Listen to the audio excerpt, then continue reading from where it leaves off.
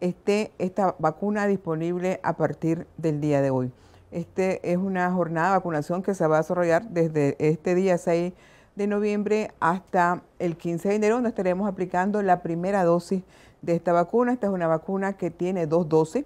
eh, la primera y seis meses posterior las niñas como bien lo decía Karen, de 10, 11, 12, 13 y 14 años deben de recibir su segunda dosis para asegurar ese nivel de inmunidad necesario para poder abordar y de no desarrollar la enfermedad propia que produce la infección del virus del papiloma humano, pero también para protegernos contra una, situación más compleja, porque este virus tiene la capacidad de producir, además de lesiones locales, es una enfermedad relacionada con transmisión sexual, pero también puede haber otras maneras de contaminarse. Eh, garantiza un proceso de desarrollo a, cierto plazo de afectar las células del cuello uterino y producir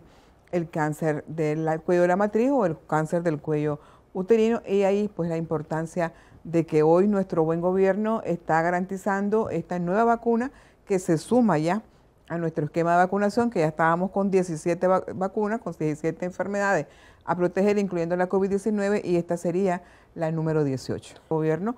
ya otros países habían hecho esta introducción, pero nosotros estábamos verificando el impacto y la protección a largo plazo que da esta vacuna, y esto es una decisión importantísima porque no solamente es ya